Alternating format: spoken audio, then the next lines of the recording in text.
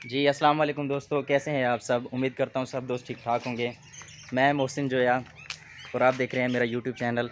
दोस्तों, आज मैं आपके लिए एक अच्छी वीडियो लेके आया हूँ। हमारे इलाके में जो वर्कशॉप है, हमारे साथ साहब हैं, उनकी वर्कशॉप में एक ट्रैक्टर आया हुआ है जोरो फोर्ड पैंतालीस साठ। चेक करें, इसका रिव्यू चेक करें, इसकी वीडियो चेक करें, इसको देखें, इसकी फिटिंग हो ये ये पंप चेक करें इसका।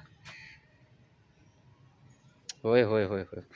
जालिम पंप लगा हुआ है चूहा पंप चूहा यूरोफोर्ड यहाँ पे इसकी मॉडिफिकेशन करके मॉडिफिकेशन करके ये देखें। इसको मॉडिफाई किया हुआ है। बैटरी इसकी बाहर रखी हुई है। चेक करें। फ्रंट पे बैटरी यहाँ पे नहीं रखी हुई ताकि इसको रेडिएटर को हवा वगैरह लगती रहे। गाड़ी गर्म ना हो। फोर्ड अक्सर गर्म हो जाते हैं। फोर्ड जितने भी हैं, छत्तीस दस हो गया छितालीस दस, चार हज़ार, जितने भी फोर्ड हैं, वो तकरीबन गर्म होते हैं। इसको एक और चीज़ आप दोस्तों के साथ शेयर करने वाला हूँ कि इस पर जो ये हाइड्रालिक टापर रखा हुआ है, ये फीएड चार सौ अस्सी वाला रखा हुआ है, खुद ही।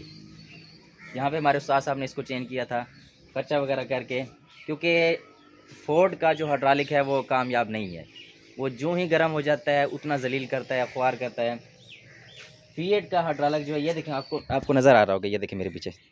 हटराला के इसने फीएड का रखा हुआ है। चेक करें।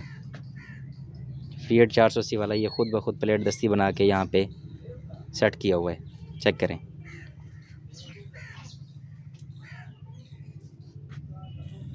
जो दोस्त जानने वाले हैं, उनको तो पता चल गया होगा कि वाकई में ये फ़ीड का हड्रालक है। फोर्ड का नहीं है, ये दस्ती प्लेट बना के ये प्लेट जो देख रहे हैं आप मेरे से। ख़ुद ब खुद ही यहाँ पे इसको सेट किया हुआ है फीएड का हाइड्रालिक बैटरी इसकी बाहर रखी हुई है, खुश्क बैटरी है। चेक करें। बाकी टायर की कंडीशन आपके सामने है।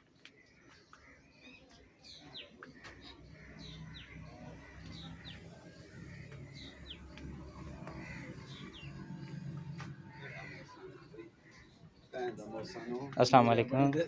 फिर से क्या अल्लाह दा करम। बिल्कुल ठीक ठाक। आप ठीक हो सही? ठीक ठीक। तबीयत